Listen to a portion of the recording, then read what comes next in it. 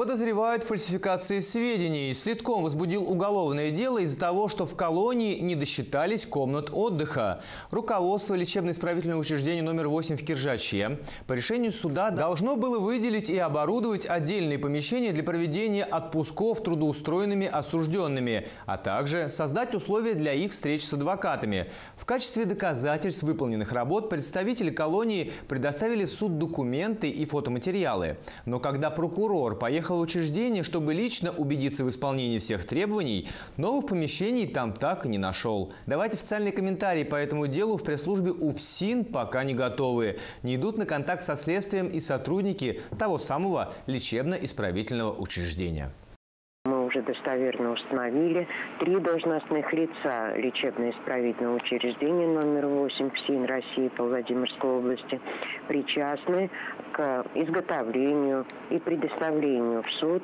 э, справки и фотоматериалов. Но, к сожалению, на сегодняшний день ни один из этих лиц не представил следствию вразумительных объяснений по поводу произошедшего. Ну, никто из них не берет на себя ответственность за изготовление и последующее распоряжение вот этими документами.